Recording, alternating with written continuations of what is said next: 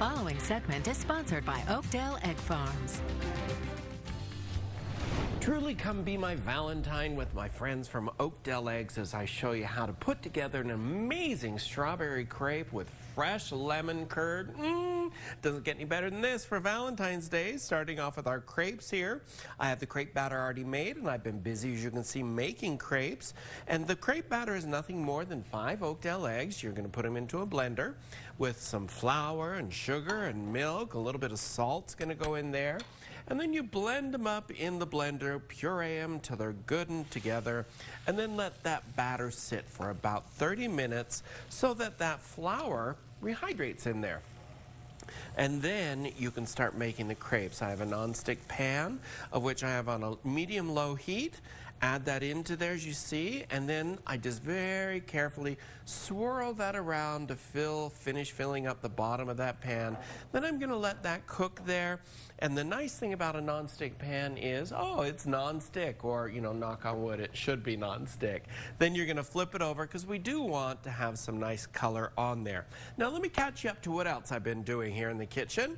So I've created the lemon curd. Lemon curd is the easiest stuff in the world. Why you would spend $10 on a bottle of lemon curd, I don't know.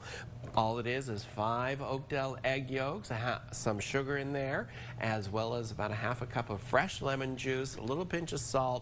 Mix that all together with a stick of butter, and as soon as it comes to a boil, take it off, strain it off, and let it chill, and you have lemon curd that is out of this world. Now don't worry, this recipe will be up on my website that you can go grab that as well as KUTV.com.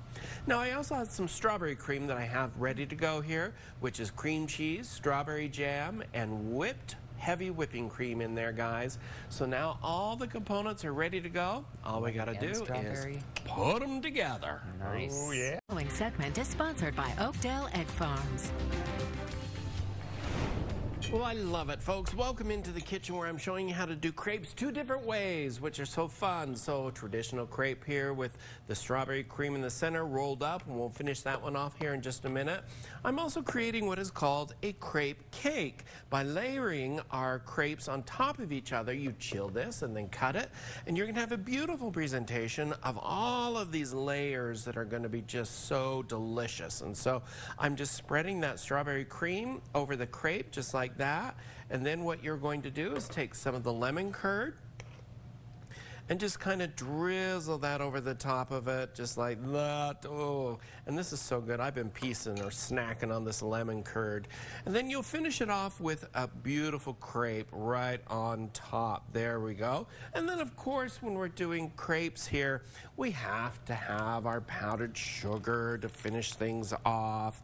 And I'm just going to put some powdered sugar right in this uh, mesh strainer here careful because, you know, powdered sugar seriously goes everywhere.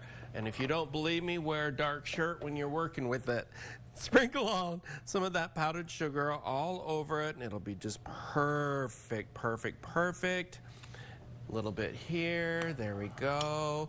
Sprinkle it with some of your freshly chopped up strawberries to go on top of it and a little lemon curd to finish it off. And you have a delicious, high in omega-3, delicious, omega-3 high, delicious, wonderful egg dish. So head on over to KUTV.com or cookingwithchefbryan.com for the recipe and enjoy some fresh Oakdell egg ideas for Valentine's. What are you going to do with three new Valentines, Bryan?